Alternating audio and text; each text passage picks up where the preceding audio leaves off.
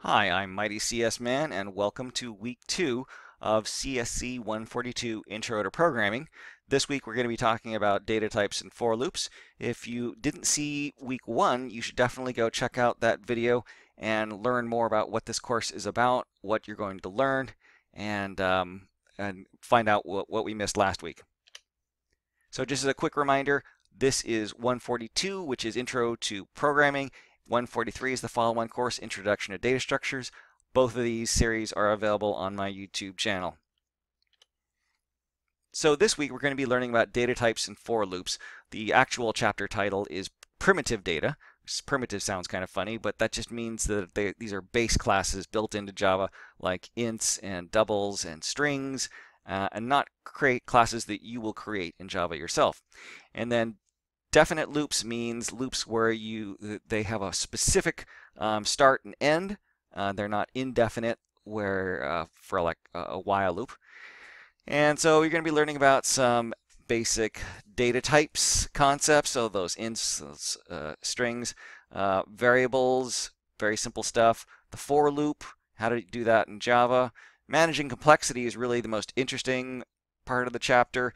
It's about not only how to use variables that are scoped appropriately, but also how to use, um, well, they don't really tell you much about how to use good variable names. It's, it's a big thing at Microsoft, and um, I definitely would tell you to not use the variables that they give you, which are like i and j. I, uh, through all out all my videos, you'll see that I continue to tell you to use intelligently chosen names, such as row and uh, column, um, that really tell you what's going on. And um, and then they also have a case study of how to print out an ASCII um, art of an hourglass. So to learn this material this week, I've got quite a few videos for you. First, there's going to be the lecture on chapter 2. Then I've got a overview of the PracticeIt problems, which I have listed down here. And then uh, the homework for this week is actually in the back of chapter 2. It's programming problem number 8 of the Space Needle. And so there's not a lot that they give in there compared to the assignment that I give to my class. Or sorry, it's, it's number 7. But um, you can look at it in the book and you could do it at home. And um, so this is an introduction and motivation for the Space Needle. I actually went out to Germany and took a look at the building that inspired the Space Needle. Building uh, Java Programs Chapter 2 ASCII Art example is uh, a walkthrough of a, si a similar type of problem that's very similar.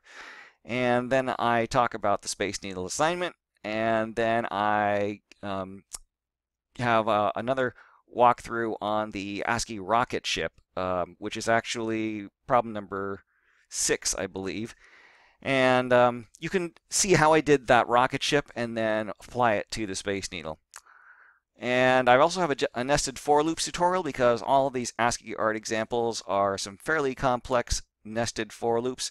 And while any hacker can figure it out, I really do suggest you learn to build your loops the way that is described in the book and to use a commenting form like I give because if you do that then I can guarantee you that there is no nested for loop that you can't conquer. And just a preview for next week, we're going to be talking about parameters and objects, objects that you will create, um, um, well actually more objects that are predefined uh, for you, the string and scanner objects and also the math class methods. So these are things that we use pretty much the entire rest of the course. So they're really important that you learn.